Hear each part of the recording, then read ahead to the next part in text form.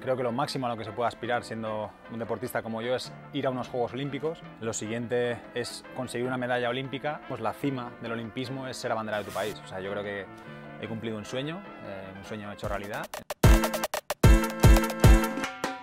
Me ha compartido además con, con Mireia, que va a ser una foto muy bonita en favor de la igualdad, o sea que para mí pues un orgullo inmenso.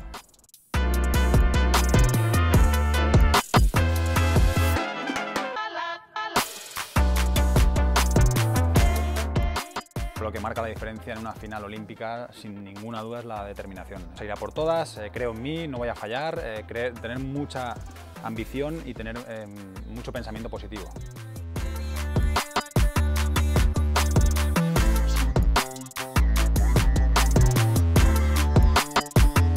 todo lo que hay detrás de una medalla yo creo que es incalculable, son muchas horas de esfuerzo y sacrificio que, la gente pues no lo ve, ¿no? solamente ve los 30 segundos que dura la prueba.